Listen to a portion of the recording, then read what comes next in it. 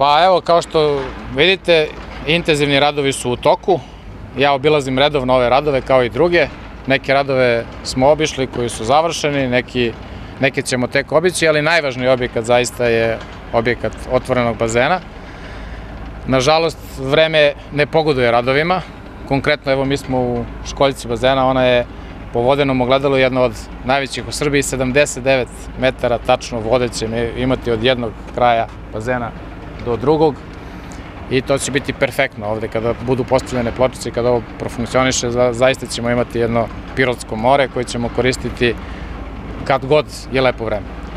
Razgovarao sam sa nadzorom, razgovarao sam sa izvođačem radova, sve ostalo i sve ostale radove možda ćemo istići negde do 1. ili 5. avgusta, ali zbog vremenskih uslova zaista, zbog vlažnosti školjke, a meri se vlažnost stalno da bi bila dobra hidroizolacija i da bi bilo postavljeno dobra keramika, potrebna je niska vlažnost i nažalost ne pogoduje vremenski uslovi, tako da se ja bojim da će i 15. avgust biti neki rok koji je zahtevan.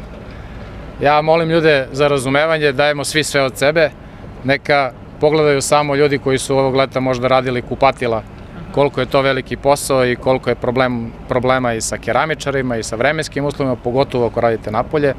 I oni će najbolje shvatiti kakav je podvig da čitav ovaj kompleks na 2 hektara, dakle 20.000 kvadratnih metara, uredimo za nešto više od godinu dana, a rekao sam više puta nema kvadratnog metra gde ovde nešto nije urađeno.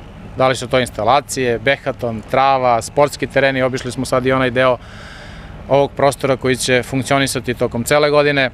Tamo će biti i igrališta sportska, internet zone, igrališta za decu, prelep restoran koji će raditi i stvarno mislim da će ovo biti ukras čitavog grada i zbog toga je i čitav naš napor da stignemo, da ga probamo, da ga otvorimo ove sezone dok su deca na raspustu i dok je lepo vreme.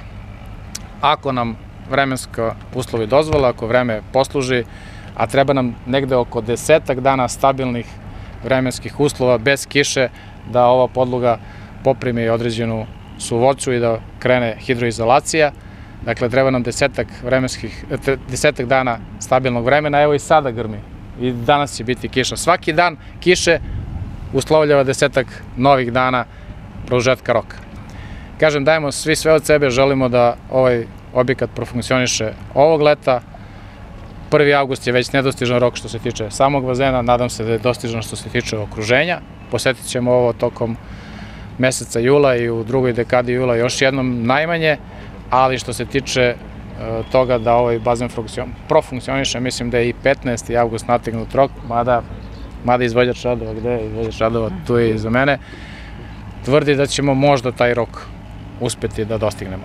U svakom slučaju, i da ne vjerujemo rokove, da li je 15. avgust, da li je 1. septembar, mislim da radovi ovde ipak odmiču dobro, da ono što je bitno da se nadzor slaže da su radovi kvalitetno izvedeni, ima tu puno posla, ima puno novih poslova od toga gde da pozicionirate bateru za rasvetu, do toga kako da, da funkcioniše garderoba, biletarnica, restoran, ne znam, tribine, baldehine i otvoreni prostori za posetioce, spasioci, tuš, tuševi na nekoliko mesta otvoreni, teren za basket, za padal, za ne znam, biciklističku stazu, za trim stazu, za boćanje, otvorena teretana, dakle mnogo zaista sadržaja ima koji će, nadam se, privlačiti ne samo ljudi iz Pirota, nego iz čitavog okruga, iz čitave Srbije i nadam se ljudi iz inostranstva. Dakle, ja sam siguran da Pirot dobija jedan kompleks koji će dugo godina nadalje krasiti grad.